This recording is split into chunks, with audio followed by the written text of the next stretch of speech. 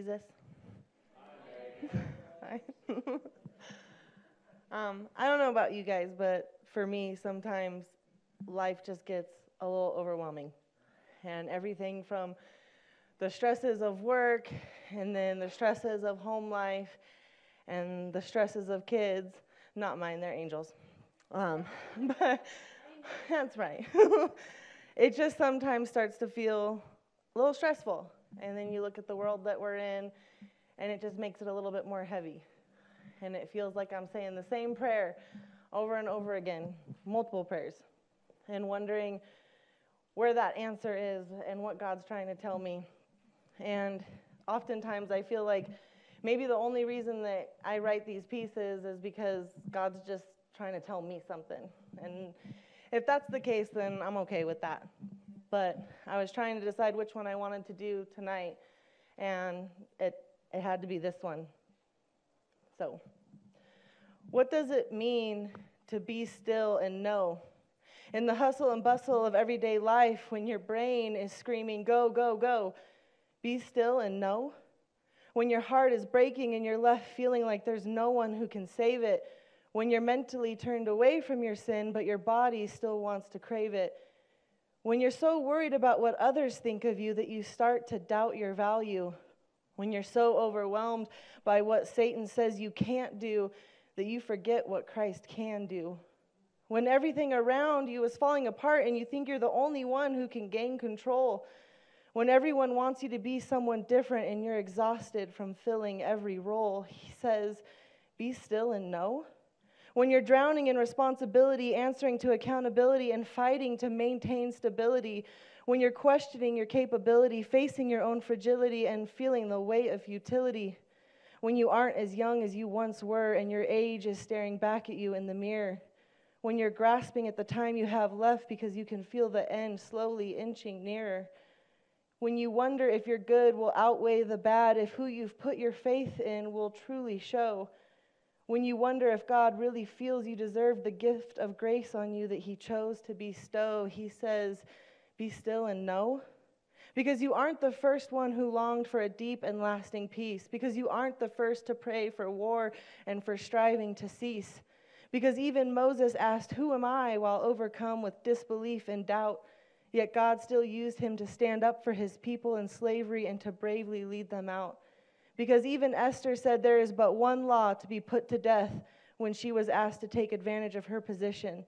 Yet God still used her. He gave her courage to change the heart of a king and bring victory to an otherwise hopeless mission.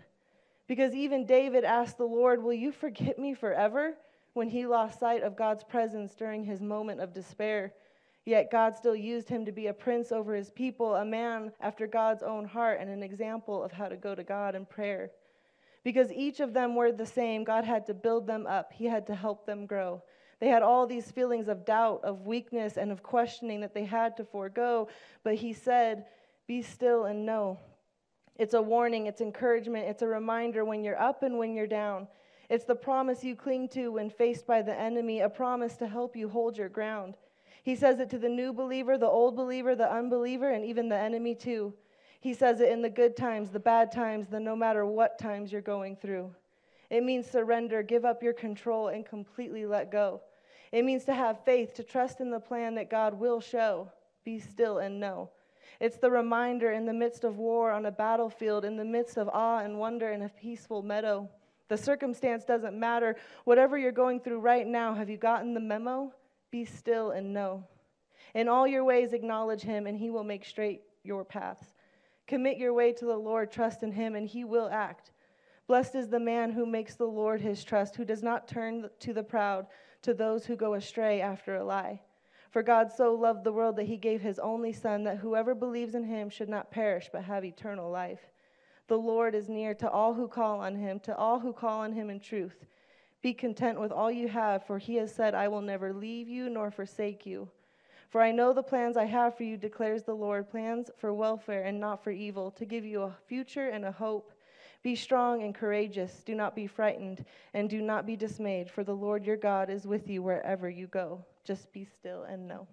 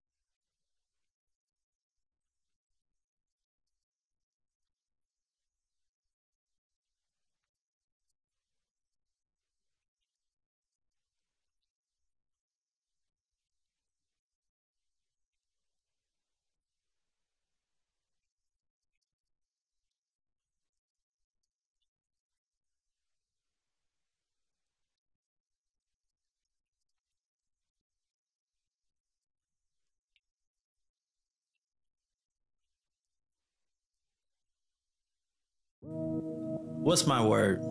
That's a thing people do, right? Ask God for a word for the year ahead. It gives you a goal, a plan for your heart, a way to walk when the world crumbles around you. Lord, this year I need a word to help me focus on the right things, the eternal things. This is my year of waking up to what matters. What has always mattered. I need a word as I walk out of the ashes and into the sunlight. A word of hope. That one word that I'll feel deep in my heart.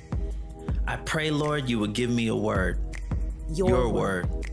The living and active word. The one that is sharper than any two edged sword. The word that lights my path. My teacher. My truth. My shield. Because of your word, God, My word has promise and meaning. The grass withers, The flower fades but the word of God stands forever. forever. Thank you, God, That your word can be my word. all year long. Amen. Amen.